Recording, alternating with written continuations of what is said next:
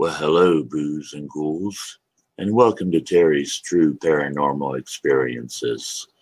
I would like, if I may, to take you along on a strange journey. This next one I call The Lurker of Rose Hill Cemetery. In Cumberland, Maryland, where I grew up, there are a number of old cemeteries but none so tightly crammed full of monuments, tombs, headstones, and mausoleums as Rose Hill Cemetery. By day, it can be foreboding. In the fading hours of dusk, I would discover it can be terrifying. I lived in an old house in a quiet neighborhood half a block from Rose Hill Cemetery. When my car broke down, I had to walk to work while saving to get it fixed. The route I took to and from work both went by Rose Hill and another less cluttered cemetery.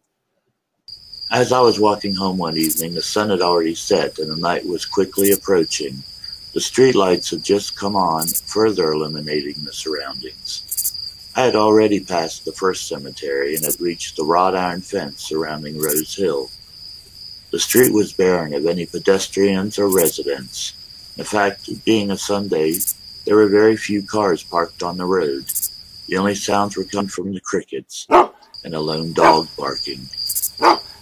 As I walked along the sidewalk, I wasn't thinking of the cemetery that lay just feet away from me.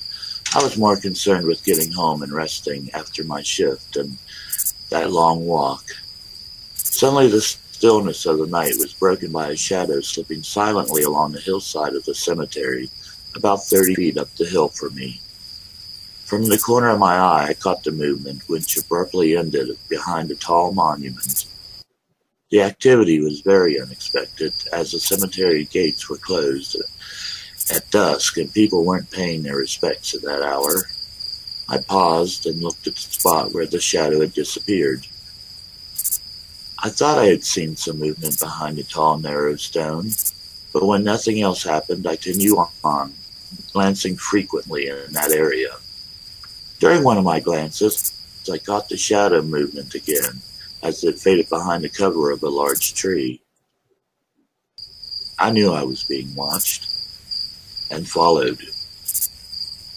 I picked up my pace, my eyes not leaving the trunk of the old tree. The next thing I knew, a black shadow in human form ran and crouched behind a large headstone. The figure had no discernible features or collars. It was just transparent black. A fear began to grow as I realized this was not a human being, just a black shadow. My own shadow paled in comparison to the dark figure. To make matters worse, we were both headed in the same direction, toward the intersection in front of me and the cemetery entrance. I was walking briskly at this point, staring at the shadow that was moving in fluid motion, racing from the cover of a small family tomb and darting behind a monument. All the while I grew closer and closer to the cemetery gates. Finally, the adrenaline kicked in and I took off running. When I glanced over, I saw that the entity was no longer hiding behind anything, but had taken off in a full sprint, racing toward the gates and the intersection and me. Although I knew the gates were closed and locked, something told me that the bars on the gates would not contain it. I ran as fast as my legs would carry me across the empty intersection and took one last glance back. Through the bars of the cemetery fencing, I could see it had nearly reached the gates, and it was not slowing down. I continued down the block away from the cemetery and then doubled back to get home. I didn't stop running until I got to my front door, expecting that thing to be on my heels. I was inside the house and had the door bolted shut in seconds.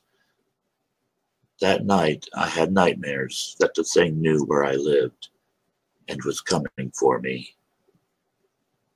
I stopped working that shift after that, and I never passed by that cemetery again on foot when the light of day was fading. Well, thank you for joining me on this tale. And remember, pleasant dreams.